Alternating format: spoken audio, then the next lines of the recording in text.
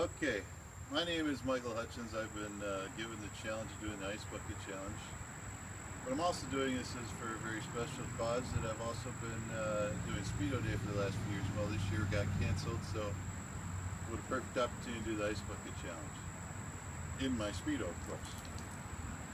So I am nominating pretty much everyone I want to nominate. You'll get a nomination off of my Facebook video.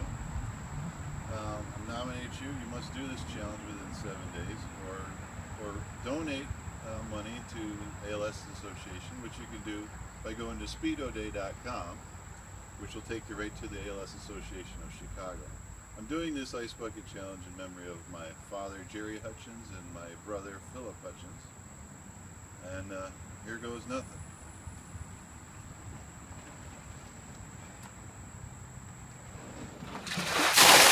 啊。